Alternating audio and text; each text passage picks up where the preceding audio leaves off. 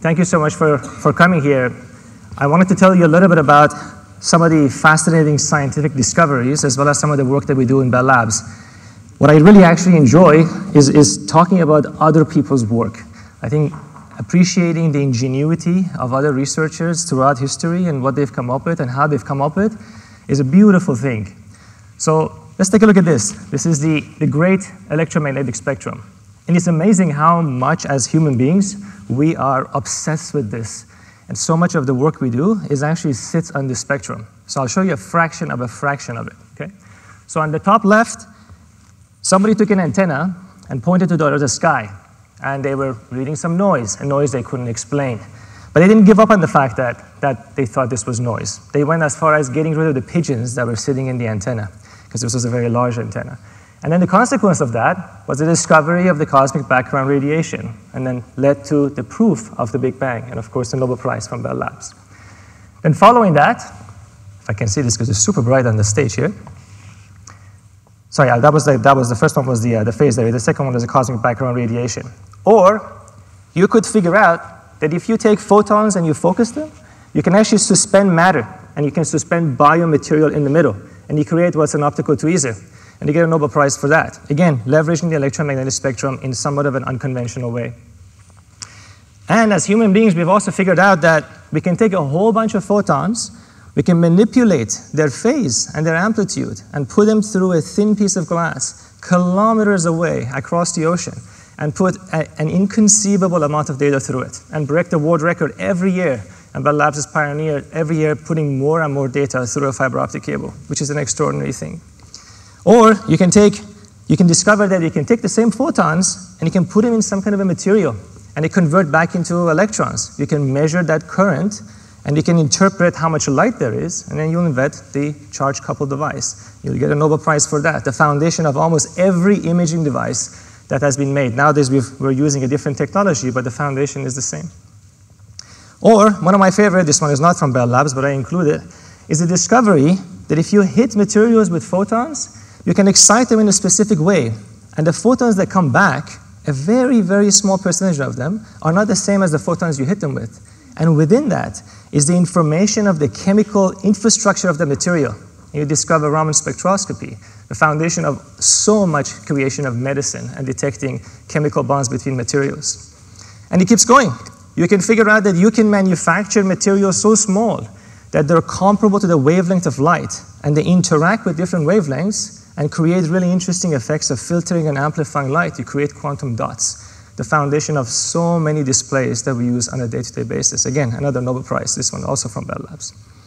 Or that you can go beyond diffraction limits of microscopes by creating fluorescence and see things that traditional microscopy wouldn't allow you to see because of the limitations of the lenses. And then again, you win a Nobel Prize. I mean, these are amazing things from species with brains made of meat that we can even figure this out. It's a, it's a beautiful thing.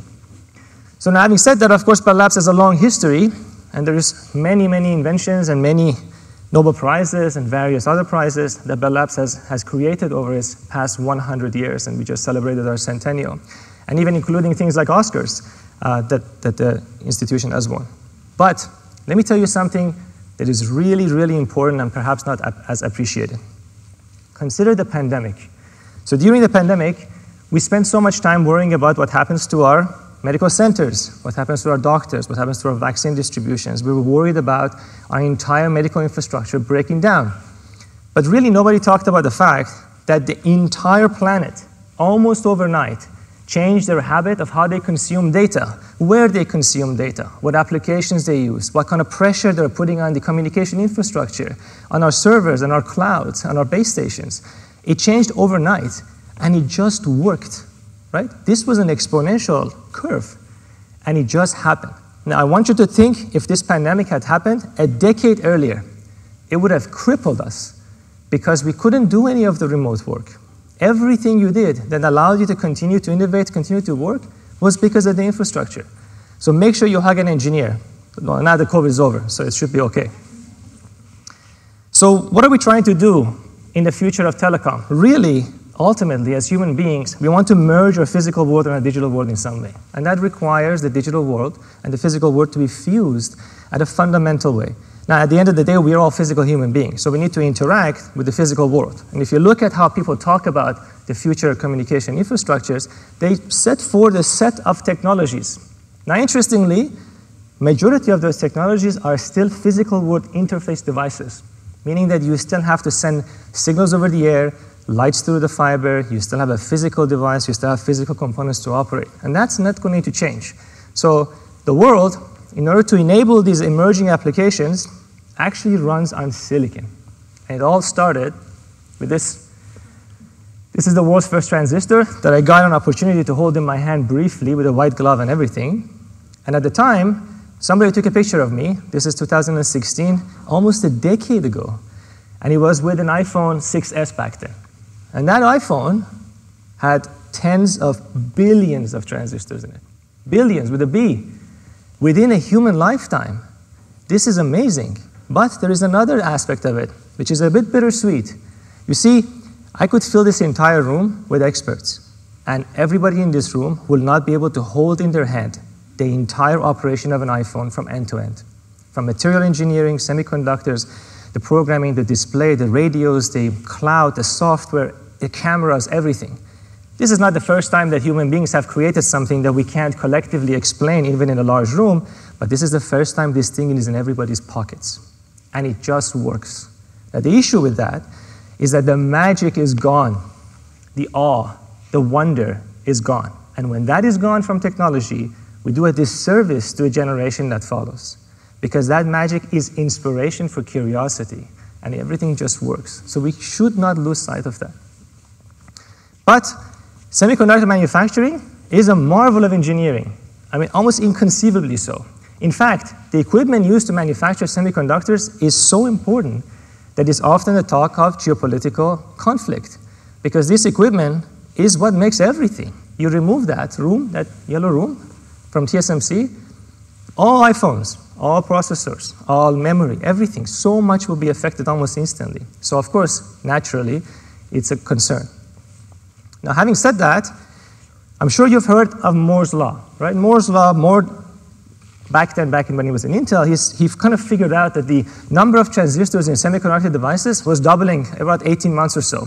And he said that this is going to stay this way, and he was right for decades. And in fact, it did. Now, many times people came and said, oh, Moore's law is over, Moore's law is over, and it always continued. Now, I wouldn't say Moore's law is over, but there is a shift. You see, when you make semiconductor devices very, very large, and you reach about 100 billion transistors in a single chip, what ends up happening is that, despite all the advancements, the yield begins to drop. Once the yield begins to drop to hits about 50%, it means that you need to make two chips for one to work. And that's an economic problem because it pushes the issue on, well, how is this going to work out economically? So we need a new solution. Now, what's the rational solution if you want to get to a trillion transistor? Well, the solution is obvious. Take your chip and make two chips out of it instead of making one really large one. But the problem is, as soon as you do this, the interconnect that you used to have inside the chip are no longer connected in the chip. They need to go out into something else before they reach. And that is a massive, massive power penalty to pay in semiconductor design. So it doesn't come for free. But people have already started to do this, which means the real problem to take Moore's law from a chip level to a macro level, a collection of chips, one level higher, is a packaging problem, is an integration problem. So we started looking at this, and we said, well, what's on the left side? What, or in this case, would be semiconductors. Semiconductors have extraordinary lithography, extremely small wires. In, in, a, in a millimeter, you can have hundreds and hundreds and hundreds of interconnect. On the other side, we have the things that everyone's familiar with, printed circuit boards. They're ubiquitous, they're cheap, they're everywhere. The problem is that the lithography, the resolution between these two technologies is vastly different. So we needed a new material. And a few years ago, about four or five years ago, we started looking at glass.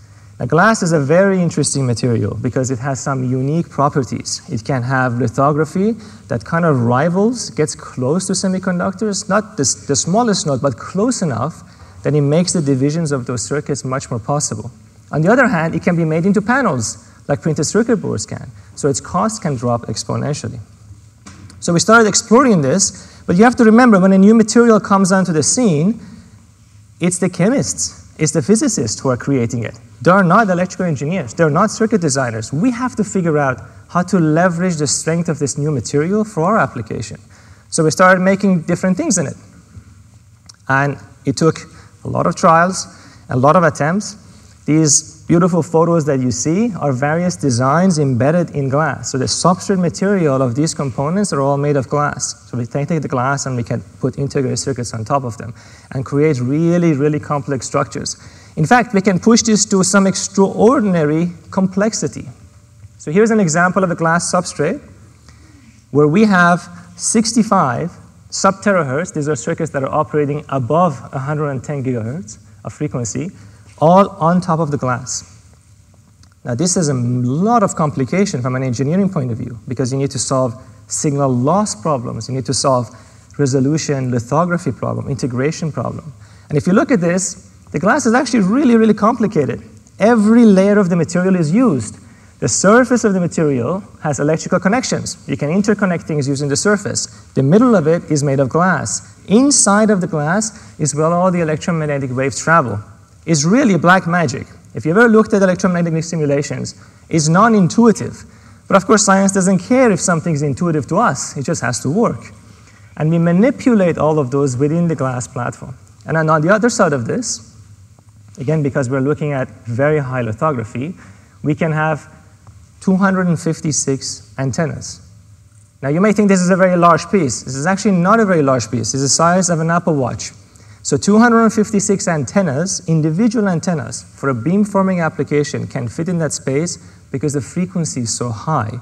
When the frequency goes up, everything gets smaller, including the antennas and their spacing. So this is a very interesting packaging problem. Now, there is so much complexity in this, and the complexity comes from the fact that you have to design the entire stack. So the, all of the semiconductors that go in there are designed from scratch at Bell Labs. All of the packaging that you saw using glass, all designed again from scratch at Bell Labs, and these create this really interesting integration of these materials together. Now, there's one other thing we want to do. Of course, ultimately, when we make something, the really test is when it's put outside into the real world. And just last year, in, during the Paris Olympics in 2024, our colleagues showed the radio on glass technology in the core of one of their products, demonstrating the first outdoor full duplex back to backhaul radio. Now, you may not know what a backhaul radio is, but I'll make it simple. A backhaul radio is basically a wireless connection between two fixed points. And the reason it's so important is because there are many places where there is no fiber. So you have to put a cell, phone, cell tower. That cell tower collects all of the data coming from all your cell phones. Now it reaches the tower. It needs to go somewhere. It needs to reach the cloud. From there, a backhaul can offload all of that traffic over the air somewhere else where there is fiber, and then it gets into the cloud. So backhaul, fiber, and all the interconnect are core to the connectivity of our infrastructure. And all of these interconnectivity te technologies get upgraded every year, especially with generations of 5G, 6G, and so on. Now, I want to show you one last thing during, uh, when, when we were celebrating one of the Nobel Prizes that Bell Labs was associated with in 2024, Louis Brus put this up. And I was in the front, so I managed to get a picture of it. And in there, he had a certain list of advice for students. The one that always caught my attention was the one just before the last one. And that is that problems that are very difficult to solve in your field may actually be very trivial in a different field. And that is the beauty of Bell Labs. Because of its extraordinary multidisciplinary nature, you can go across the hall and speak with somebody with completely complementary background knowledge and information to the one to the thing that you're working on. And from that, you can create these interesting connections between technologies, which is actually the, the, the next most important thing. One of the reasons people keep talking about AI being so powerful is because AI can create those connections that perhaps can escape us. But institutions like Bell Labs have been doing this for a century. And we will continue to do this because that is exactly how the new generation of new ideas and new connection between technologies can emerge. So with that, I'll leave you with this and wanted to say thank you for going through this talk with me and congratulations to Bell Labs for a 100-year celebration.